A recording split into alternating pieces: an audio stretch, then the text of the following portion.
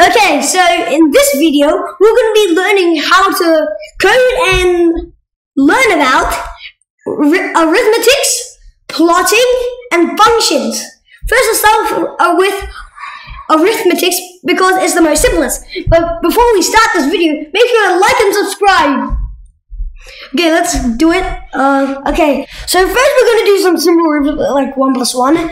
So Slash slash means it doesn't. It, the the computer doesn't know what this is. Anything after slash slash, the computer just knows. So like if I do slash slash, thinking is bad. Th- this it won't matter. So here we're doing one plus one.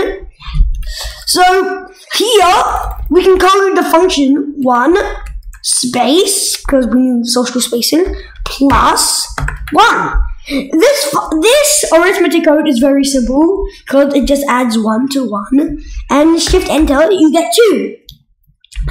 But in computer there is no x. X symbol means variable, so there is no x. Instead, we use a star here. So we do two, so in this instance we do six times. Wait, what's times? Six times eight. No, six times 2, which will give us 12. And here we have 6 divided by 2. This obviously equals to 3, but if we do 6 divided by 4, which is 1.5, it will only give us 1. This is because we gave it integers. It, if you give the computer integer, it has to give you an integer back. So to solve this problem, we add 0.0. This is a decimal that equals this 6, and look what we do now. 1.5. So, so for these hard ones where it's not possible by integers, we use 0.0, or known as a double. Here we have defining a function. This this line of code or cell defines uh, defines x x is a variable or unknown number, which x is unknown number, which means it can be anything from 1 to like infinity or negative infinity, if that's even thing. So here we have um, decided that x is going to equal to 1. So, um, so we, here we have the simple function x plus 1. Now you may be wondering what is x plus 1. x is 1 plus 1, then it will equal 2. Oh, know, I need that. This was. Now it will equal 2. Because x is equivalent to 1, so this is name. It can be any number, but we'll use x because it's easy, plus 1 equal 2, because x is equal to 1. We can change this number to be like 2 or something, so you equal to 3. And we can also do x plus x plus 1, which we call this function twice, so it will be 1 plus 1 plus 1 equal to 3. Now we're going to be learning about functions. So function is something when you give it a input and gives you an output. Now we're going to show you some examples of functions. So look, this function is Iron Man, Tony Stark, Captain America, Steve Rogers, Spider-Man, Peter Parker, Doctor Strange, Stephen Strange. So this this function is basically giving the fake name to the its real name. So this function is converting Iron Man into Tony Stark because Iron Man is the fake name, and then Tony Stark is the real name. Same thing here. Harry Potter goes to Gryffindor. Harry McCrellin goes to Hufflepuff. Ronald Weasley goes to Gryffindor, and Hannah Alberto Albert goes to Hufflepuff. So the, this function is basically sorting uh, students into their correct house. So these are some more interesting functions and how to code them.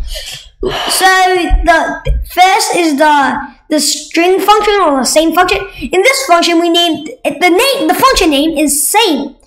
So and then string just means like line of text. So if we type same, which is the name of the function, put brackets and then put apple, when we submit this code, when we submit this, it'll give us apple. We can change this to anything. So instead of hello, we can change it to uh, the cow. The cow. Now it'll give us the cow back. That's a thing with functions. So you can name this anything. uh, uh, like that. It will give you this back. now the string fun the um now it's the identity function. Identity function is you give it a number, it gives you the same number back. So it's not really interesting. So if we identity zero point one, we submit it. We submit it. It just gives us one. We type like uh 89 give us 89 we type this number. It goes the number. So that's the identity function. And like that again. So that's the identity function. Now but that's not really interesting. It's just giving us the same number back. But now we're doing this this function. It's as an add one function. You can call it anything but in this case it's add one. This is giving us return x plus one which means when, when we set something to x, it will plus 1 to it and give us the answer. So in this case, we call the function, which is add 1 because it's the name, then put 0, 0 in bracket. So this means 0, 0 0.0 is x. And then this function basically gives us x plus 1. So we do that and call the function upon it. It will give us 1. If we change this to 5, it should give us 6. It's just plus and 1. You can also change this function to like 3. So when you do that, when I put 5 again, it should give us 8. You say, this is basically calling the function twice. Because add 1 and then add 1 again. Anyway, but no, this is just a name, so even if it's like add 3, it still works because that's just the name of the function. You can change the name by just changing it like add 3. Then you have to submit the code again and change these to add 3. Add 3, so it should give you 6. Because it's basically so x is 0 and it's adding adding 3 twice. Because that's what the function is coded to do. This is basically the same thing, but it's adding it 3 times, so it should give us 9. Now we're going to be learning about plotting. Okay, so now we're going to explain to you what coordinates are and the address of each point. So there's the x-axis is the horizontal line, or this thing, this thing here. And the y-axis is the vertical one here. Each point has a name or address. The point, the address for this is 2, 2. So it's 2 from home, 2 from 0, there, and 2 up, so there. And then you combine it here. So that, and then negative 1, negative 3. So you go negative 3. So you go 1, you go here. And you go negative 3. So here. So that's the point. Uh, negative 2, negative 4. You go negative 4 here. And you go negative 2. Which is like down 2. So it's here. So each point on a coordinate system has a it has an address defined by two numbers. The x the x value and the y value. I'll oh, show you how to plot some points here. So this is plotting. What if he thinks yx? What do you mean it's yx? I'm showing him here, you stupid dingus. Don't you have to do it here? Why are you doing it on the code? It's literally so much more clear here. Right. It's. Right, you can literally do it here. It's literally superior. Look, this is a point, and this is the, when x equal to thing and y equal to thing. How does he know x is always one? Well, how does he? What, how, how does he know it's y plus? What if he thinks y one x one? Oh, that's what I'm going to explain here, you dingus. What here, you dingus?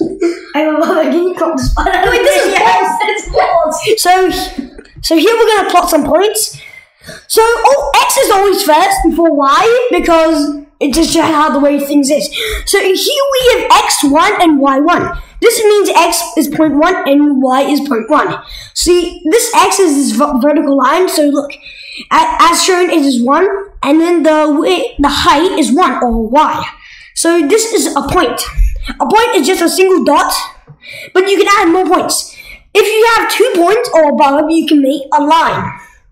A line is two or more points joined together by a line.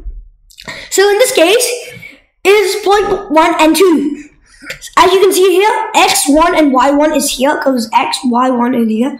And then 2, uh, it's like 2 and 2 here. This can also be changed like this. This can be like 2. This can be like three. This can be uh, one. And this can be two. Two here. So now look, two, two. So two, two, and three, one. The- th- these numbers can go to decimals as well, or negative numbers. Negative numbers is just a tiny bit trickier because you have two sides. So like this. So you can make it negative two, negative two, like this. And you'll see it goes down here. So negative two, negative two. This can also be decimals, like this. 0.5, 0.5. So it'll give you like this. So, so uh, it'll give you 2, 2, which is here, and 1.5. 1.5. X is 3, no, I mean 3.5 for X, so it's here. This is 3.4, so this is 3.5.